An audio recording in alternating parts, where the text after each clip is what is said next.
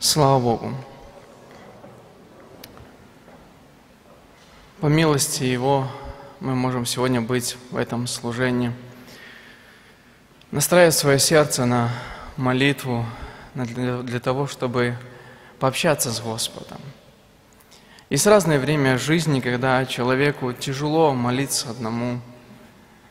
Есть разные переживания, трудности. Иногда человек попадает в какую-то ловушку, когда он и один не может молиться. И не зря Бог поместил нас в церковь и дает желание, возможно, может, не у всех есть желание, но дает силы прийти сегодня сюда. И я верю в том, что милость Божья, она сегодня обращена к нам. И Слово Бог будет посылать для нас. Слово веры для того, чтобы мы могли искать Господа – мы могли понимать, мы могли разуметь то, что Господь хочет от нас. Потому что когда нету Слова Божьего, тогда непонятно, о чем молиться, куда молиться, вообще куда мы движемся, что происходит. Но вначале было Слово Божье. И Слово Божье, оно сильно указать путь, дорогу, дать веру, провести этим путем, чтобы человек вошел в святое небо и на земле он имел мир в своем сердце. И поэтому пусть Бог благословит каждого из нас, чтобы нам сегодня искать Его, чтобы нам, возможно, видеть только Христа сегодня, увидеть сегодня распятого, воскресшего, действенного сегодня, прежде всего в моем сердце. Мы очень часто в своей жизни встречаемся, жизнь последнего времени, она построено, видим очень много как натуральных вещей, так и поддельных. И натуральное и фальшивое, оно часто, можно сказать, почти иногда нельзя даже и заметить, и различить. И очень много мы видим вещей, которые есть качественные, хорошие, также есть и некачественные, и поддельные. Эти, это сравнение можно переносить в направлении отношений человека или в направлении отношений своей жизни. И хочу сегодня предложить для, для исследования, чтения Слова Божьего, чтобы вместе с вами рассуждать и впоследствии приходить к молитве. Первое послание к Коринфянам, 9 глава, с 25 стиха и ниже –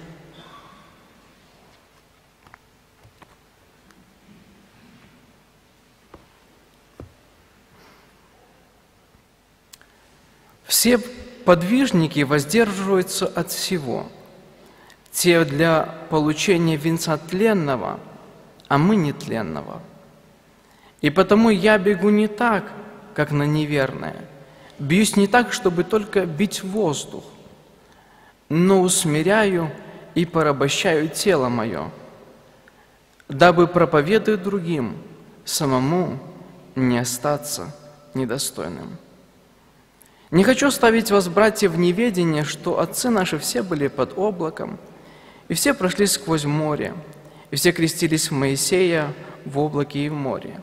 Все ели одну и ту же духовную пищу, и все пили одно и то же духовное питье, ибо пили из духовного последующего камня. Камень же был Христос. Но не многих из них благоволил Бог, ибо они поражаемы были в пустыне – а это были образы для нас, чтобы мы не были похотливы на злое, как они были похотливы.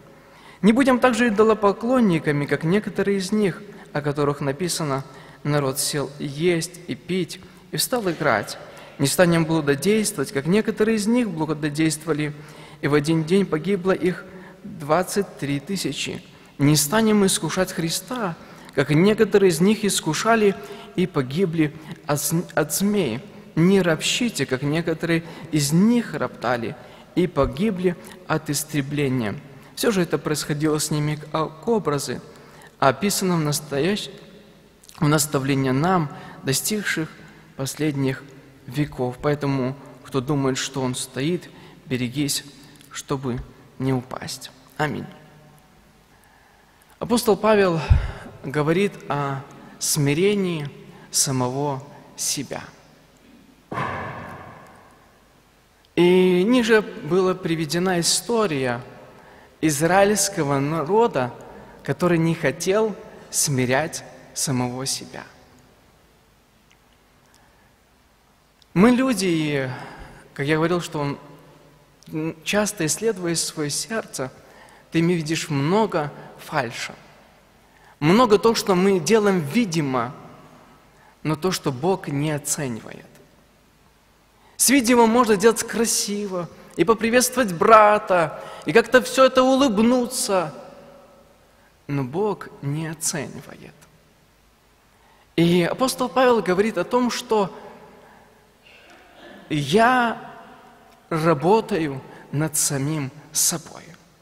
Израильский народ не хотел это делать. Он не работал над собой. Это я хочу смирять самого себя. Хочу задавать вопросы сегодня для самого себя и впоследствии, чтобы молиться. Получилось или получается ли в моей жизни смирять самого себя? Будем рассуждать. Что изменилось с момента моего покаяния до сего дня? Насколько я смог себя смирить? Следующий вопрос. Сколько поменялось от того, когда я перед болезнью и после болезни, что произошло? Господь пророчески говорил, что говорит, многие говорит, люди будут вопять ко мне, будут взывать, но не захотят смирить себя. Оказывается, перед Богом смирение самого себя играет ключевую роль. Это то, что лежит в основании и решение, будет ли Бог пользоваться этим человеком, сможет ли он принести плод, сможет ли имя Божье прославиться в его жизни, или он останется пустым, и все пройдет напрасно. И была и благодать, и все были под облаком, и в Моисее крестились, и все, и все Слово Божье читали, и все молились, и все ходили на молитву, все общались с духовными братьями. А результат – ноль. Потому что человек не расположил свое сердце, чтобы работать над самим собой. И иногда, преклоняя свои колени, ты рассматриваешь себя – он говорит апостол Павел говорит о том, что я смиряю и порабощаю тело мое, плоть. В 9 главе Галатам, по-моему, написано о том, что дела плоти, они известны. Суть прелюбодеяния, блуд, нечистота, там ссоры, зависть, разногласия. И задается вопрос, хорошо, как у меня отношения с вожделением, смотрю ли я то есть, когда я покаялся, и сегодня. Как вопрос у меня э, с чистотой, что я просматриваю в своем телефоне или компьютере? Как, какой, где эта граница? Поменялась ли? В отношении ссор, в отношении клеветы. Что изменилось? Насколько я смирил себя? Могу ли теперь я промолчать? Могу ли я удержать себя от того, чтобы что-то не сказать? Могу ли я остановиться, чтобы что-то не сделать? А пред Богом это имеет огромное значение. И говорит, что плод ваш есть святость. То есть Бог желает, чтобы христианин продвигался по этому пути. Возможно, у него не сразу все получится, и, возможно, нужно будет приложить много сил, стараний – но в итоге, чтобы он через Слово Божье, вникая в себя, он увидел, что в его жизни есть эти перемены. И эти перемены благодаря Господу, Слову Его, но и не, не лишая человеческих усилий или человеческого решения. И Бог желает, чтобы сегодня вот эта молитва, мы посмотрели в себя – как у нас отношения с нашей плотью? Работаем ли мы над самим собой? Никому не надо доказывать, ни, ни перед кем не надо показывать, что я что-то уже сделал. Но хотя бы для себя быть честным с собой, сказать, Господь, возможно, мое сердце стало хуже, чем было. Возможно, когда мне ничего не доверяли, я был хороший, искал Тебя. Но когда мне сегодня что-то вручили, я еще хуже стал. А Бог сердцеведец. И, Он воздает каждому по делам или по путям Его. Смирение,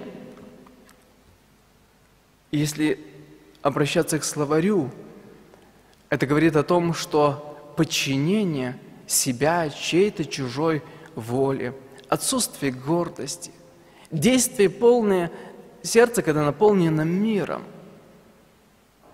Способен ли я покоряться кому-то, когда мне это не нравится? Могу ли я уступить так много, много вопросов. И это все задает Слово Божье. Когда меня хвалят, как я реагирую? Когда я достиг какого-то успеха, что происходит в моем какие там, какое там движение? А Бог обращает внимание. Не только на тогда, когда я движусь, но когда я уже забыл про все, и уже остановился, и когда меня никто не видит, Бог все равно обращает внимание. Как-то один человек сказал о смирении так, говорит, что это когда ты думаешь, что ты делаешь на двойку, а в итоге получилось, что ты делал, сделал на пятерку или даже на шесть. То человек, который невысоко думает о себе, о своем мнении. Иногда мы, верующие люди, способны думать, что только как я думаю – и есть только неправильное второе мнение. Только как я проповедую, или как я высказываюсь, или как я понимаю, это не говорит о моем смирении. Это говорит о том, что, возможно, я уже далеко зашел куда-то. И Бог по-другому смотрит. Но сегодня для каждого из нас нужно благодать это. И человек, который смирил себя, он сможет получить благодать Господню. Он сможет войти в присутствие, он сможет получить силу для того, чтобы идти вперед, радоваться, благодарить Бога, проходить обстоятельства жизни, а который не смирил, он идет в гордом одиночестве. Когда один брат рассказал пример, пришел к старушке побеседовать, ну, говорит, давай помолимся, она ну, наставляла его в жизни, делилась опытом жизни, и он молится, говорит, Господи, помоги меня, ну, такой молитва, что помоги мне хранить смирение. И она его в бок локтем. Неправильно молишься. Ведь не так. Ведь это твоя гордость говорит, что, что у тебя уже есть смирение, и тебе надо сохранить. Проси, говори, Господи, научи меня смирению. И он говорит, что тот урок для меня надолго. И когда она объяснила, что значит мои слова, мне, говорит, было очень стыдно. И Бог желает, и много есть мест Священного Писания, которое рассказывает, что Бог говорит, если смириться народ мой. Однажды, еще до армии было время, много молился, и Дух Святой побуждал, и побуждали проблемы, душевные переживания, побуждали искать Господа – и когда приходишь в присутствие Божье, Господь не раз говорил, что ты бунтарь, ты такой-такой. Это не очень хорошо, когда свет Божий приходит, э, говорит о том, что есть. И много разных пониманий было, и думаю, вот хорошо было, конечно, хороший результат был у Навуходоносора, как ты делился этим примером. Бог заключил его, попустил – и этот человек смог смириться пред Богом. Спустя семь времен был восстановлен. Эти вещи очень серьезные, потому что это жизнь и смерть решают. И я думал, вот хорошо бы, как вот хорошо было ему, научился смирению даже таким страшным путем.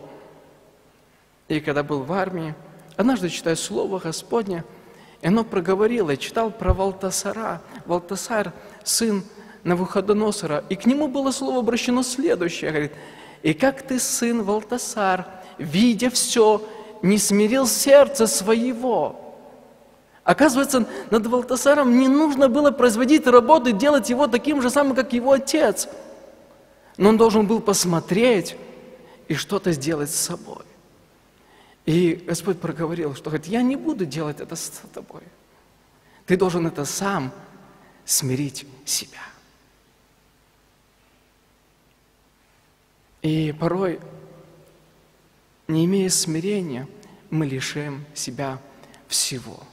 Божьей благодати, водительства, утешения и так многого того, что дарует Господь. Еще одно место читаю, и мы будем приходить к молитве. Третье царство, 21 глава об Ахаве.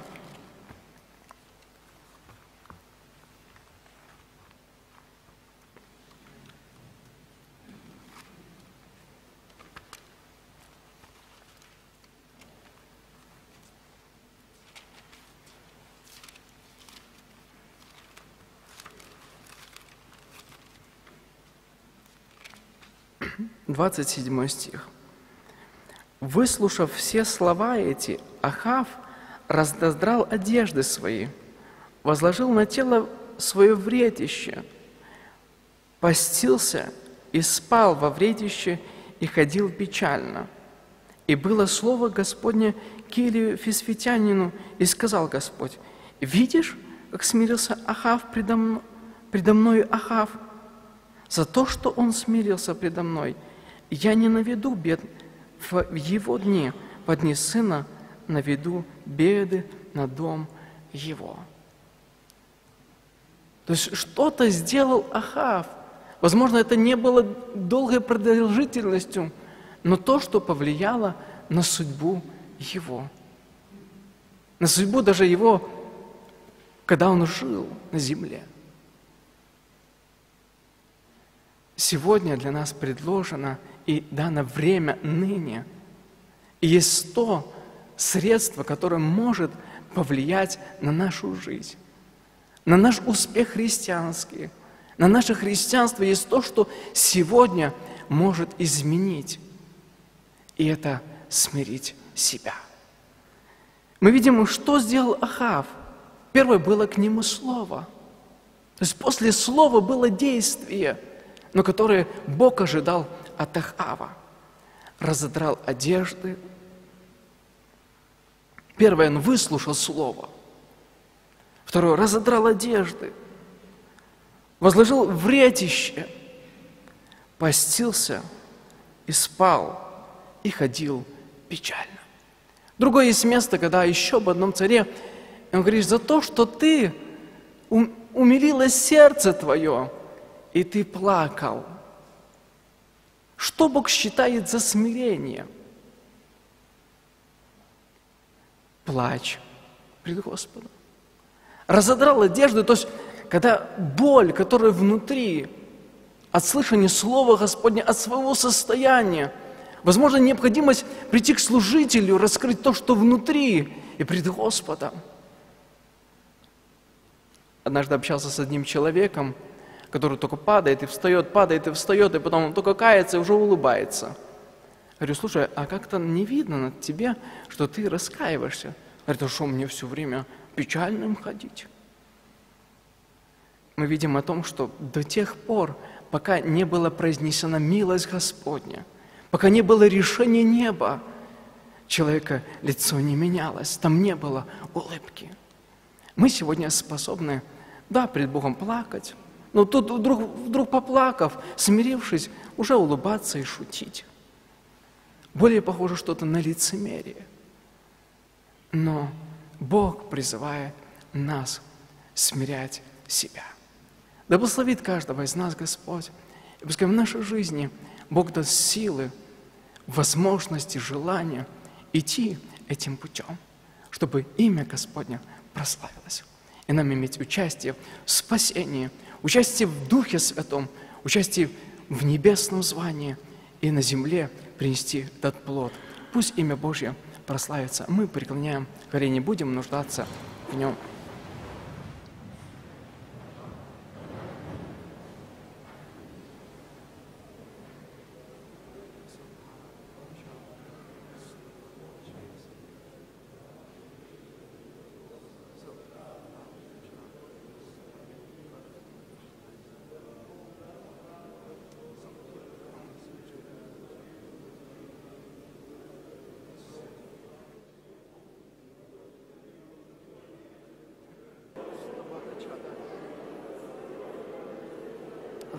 Lerebitus tamaise clauda stavalas min glaida. Перекламина чтаузе келфарабатос тамайзе кеда фрамана чтазе клаудо. Господь Отец, благодарим Тебя сегодня за то, что сегодня можем быть на этом месте, за то, что можем слышать Слово Твое, читать, Господи, вникать, то, что оно направляет нас для того, чтобы мы исследовали себя, Господь, чтобы мы шли по пути Твоему, благодарим, и Слово Твое говорит об этом, что Ты, Господи, прежде всего смирил себя. И мы сегодня благодарим за то, что сегодня можем быть в доме Твоем, что, Господи, Ты дал этот день благоприятный, Ты дал это время. И мы благодарим Тебя за то, что Ты призываешь нас сегодня сюда. И Ты желаешь совершать с нами работу, Господи. Не мы Тебя искали, Господи, но Ты нашел нас. И благодарю, за то, что у Тебя есть план, Господи, что у Тебя есть определение, что, Господи, Ты всегда хочешь во благо для человека, во спасение для души, Господи, чтобы еще прославиться. И мы благодарим Тебя сегодня.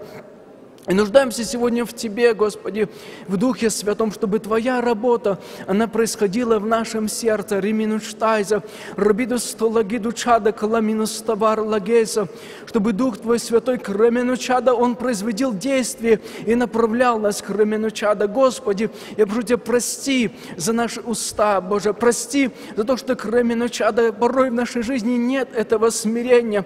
Ленину крауду чада, что порой мы не занимаемся собой, Рамяну чада, но мы часто можем заниматься кем-то, кому-то что-то говорить. Рабида чада Клауда, Господи, прости, лечибит аштай за Клауду, но прошу Тебя, чтобы Ты, Рабида чада, сегодня омыл Твоей святой кровью, Рамяну чада, чтобы Дух Твой Святой, Он сегодня совершал работу в сердце и посылал то слово к Рабида чада, чтобы созрело то решение, лементур май за Клауду чада, искать Тебя, нуждаться в Тебе, Ремину чада Клауду, поститься, молиться, кроме чада, ожидать Тебя, Господи, в терпении, камали чуду, кроме чаду, уделить время кизалторману чаду, кроме до столара чаду, чтобы позволить, чтобы Ты говорил камали душтауду, чтобы Ты очищал и указывал рамену чаду, клороду столайду, чтобы радость была совершенной, посему, Романа, рассмотри, Господь, сегодня наши сердца, рамену чаду, комы, сулорги, душаду, рамену столайду, душу.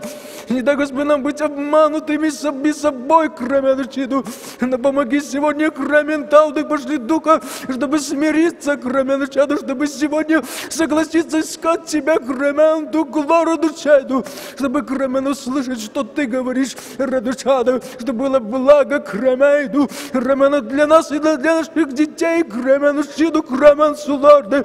И Слово Твое еще обильно распространилось, кроме начала, и Дух Святой смог совершить совершить определенный Краменучады еще здесь на земле и в церкви, и посему благослови. Раменучады порасти, когда мы высоко думали о себе, когда мы говорили, когда мы Краменучады выносили решения, Раменучамангейда, но без тебя, Краменучаду, Раменучады, и посему, Господь, помоги нам смиряться пред Тобой, чтобы Ты презирал он обращал наше внимание, Господи, на наше смирение к рамену чиду, к лоросту лауду, и чтобы было дано благодать к рамену чаду, который служить, и в этом прославлялось имя Твое святое. Поэтому благослови дальнейшие ходы, молитвы служения, и пускай Тебе за все будет слава и хвала, Отец и Дух Святой. Аминь.